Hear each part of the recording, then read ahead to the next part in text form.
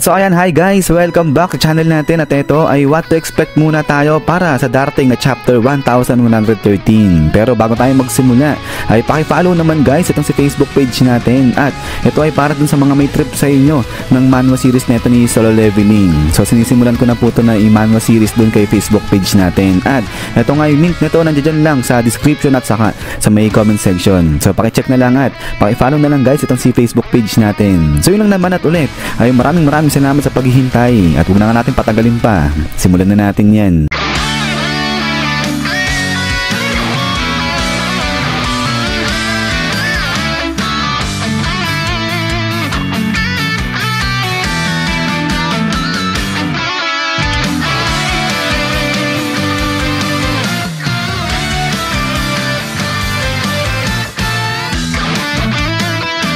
At so dito nga muna natin yung simulan sa kung saan natapos sa nakalipas na chapter sa pagkakatagpo ni St. Mars dito sa Dendenmushi na nagbo-broadcast o yung source ng broadcasting nila Dr. Vegapunk. Pero dito nga ay may nakita rin diba itong si St. Mars na kung ano dyan sa loob ng kwarto.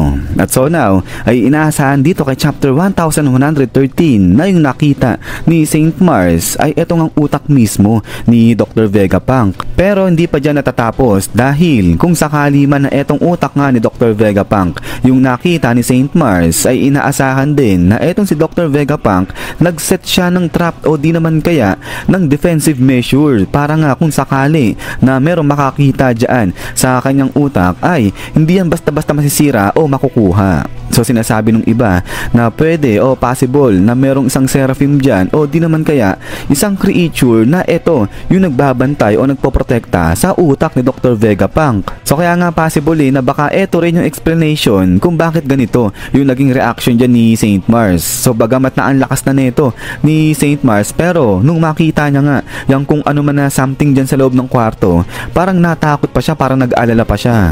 So indication ito na yung nakita dyan ni St. Mars ay beyond sa inaasahan niya. At so maliban pa dito, yung isa pang inaasahang major event kay chapter 1113 ay yung sa side neto nila Bonnie. So dahil nga sa dumating na etong si St. Venus dyan mismo sa harapan nila Bonnie, kaya inaasahan na etong si Sanji Boy siya yung darating dyan para tapatan at labanan etong si St. Venus ngayon. So hindi si Zoro yung inaasahan na darating para tulungan etong si Bonnie kundi etong si Sanji dahil kung pagbabasihan nga naman etong mapa ay may kita etong lokasyon dyan nila Bonnie at saka neto nila Sanji. Siya talaga itong si Sanji. Yung malapit dito kay Bonnie at eto nga on the way na eh. Etong si Sanji papunta kung nasan etong sila Bonnie. Habang sa kabilang banda sila Zoro nandito yan eh sa may itaas kung nasaan etong sa area nila Nami. So kaya kung inaasahan na si Zoro yung tutulong dyan kay Bonnie ay sa tingin ko medyo mahirap yan medyo matagal kasi nga nandito sila sa taas. So posible nga niyan kung talagang ipipilit, pwede na mag-dash talaga o mag-rush sila Zoro at tumalon dito sa may taas papunta dyan kalaboni. Pero sa tingin ko nga ay medyo mahirap talaga pag ganun. So kaya going back dito kay Sanji, siya talaga yung ina-expect na na makakalaban nito ni Saint Venus ngayon. At ang possible nito pwede mangyari, iabot ni Sanji si Dr. Vegapunk dyan kay Atlas at siya yung magprotekta ngayon dyan kay Dr. Vegapunk. So kasi isa pa yan, isa pinoproblema eh. Sinasabi na bit bit bit bit eh ni Sanji si Dr. Vegapunk. Sa tingin ko madali lang naman yun. Iabot niya lang si Dr. Vegapunk kung kanino dyan. Yun na kay Atlas at itong si Sanji, si Bone at saka itong si Frankie sila yung tumapat ngayon dyan lumaban kay Venus. Pero ang tanong ay kakayanin ba kaya ni Sanji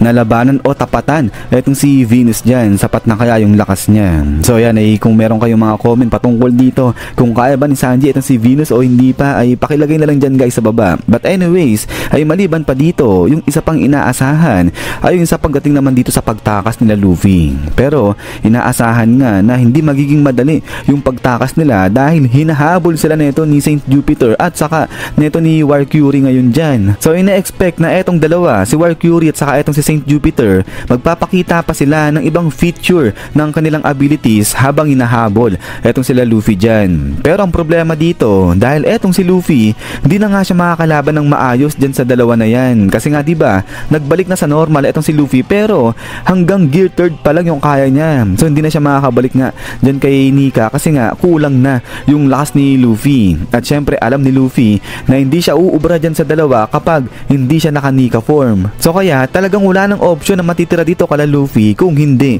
yung tumakas na lang diyan. At sa tingin ko yan lang din eh yung ipapriority nito ni Luffy yung tumakas yung makaalis diyan nga sa dalawang halimaw na yan.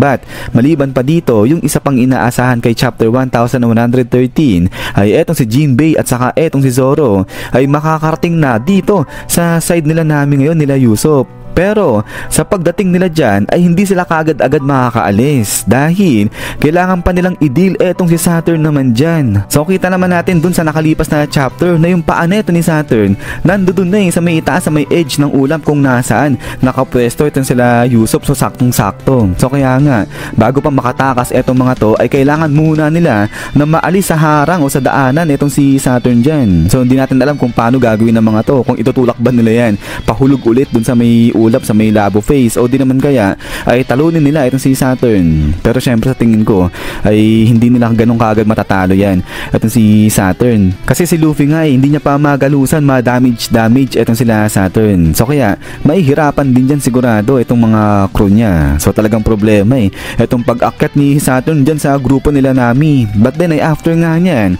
Is yan guys so hanggang dito lang muna itong what to expect natin kay chapter 1113. At so ayan ay kapag meron ng mga spoiler o update. Para dito kay chapter 1113 ay i-update ko na lang kayo kaagad. At yun nga ay ulit ay sa mga hindi pa po nakaka-follow kay Facebook page natin ay ayan paki-follow naman. At si Facebook page natin para sa manhwa series nito ni Solo Leveling. At syempre dito ko rin po ilalagay yung iba pang request ninyo na gustong imanga series natin. So yun lang naman yung link nito nandiyan lang kay description sa kay comment section. So yun lang naman at ulit ay maraming maraming salamat sa panonood dito kay One Piece natin. So lagi mag-ingat God bless inyo lahat at Kita-kits tayo ulit.